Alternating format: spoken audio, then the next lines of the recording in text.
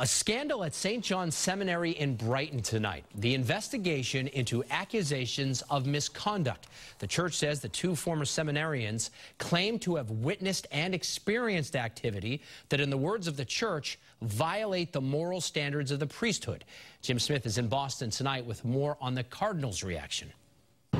Tonight, the Boston Archdiocese is again facing controversy. The Cardinal is promising action, but a longtime critic is speaking out. Cardinal Sean O'Malley launching an investigation focused on St. John's Seminary. The action comes after he was told two former seminarians posted allegations on social media of misconduct. The Cardinal says that during their time at the seminary, they witnessed and experienced activities which are directly contrary to the moral standards and requirements of formation for the Catholic priesthood.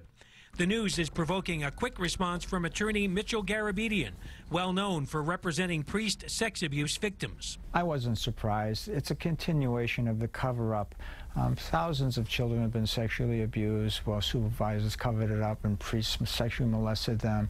Now we have seminarians being sexually abused by other seminarians. The Cardinal says the allegations made this week are a source of serious concern to me as Archbishop of Boston. The ministry of the Catholic priesthood requires a foundation of trust with the people of the church and the wider community in which our priests serve. The Catholic Church is just continuing the cover up. Where have they been about these allegations for decades upon decades? The documents, if ever released by the uh, Catholic Archdiocese of Boston, will show that there's been sexual abuse for decades of seminarians at St. John's Seminary. At this point, Garabedian is not legally representing anybody involved. The investigation begins as soon as possible. At the seminary, Jim Smith, WBZ News.